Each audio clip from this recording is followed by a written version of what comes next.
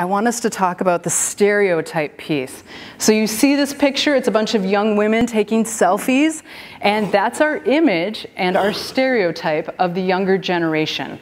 And there are stereotypes that people have of us as the older generation as well. And it may not be your stereotype, but you've heard it or you've seen it somewhere. So we're gonna have you actually talk at your tables a little bit and bring in your experiences. What are some of those stereotypes you've seen or heard about the younger end and the older end? So I'm gonna give you about three minutes as a table, and then we're gonna regroup.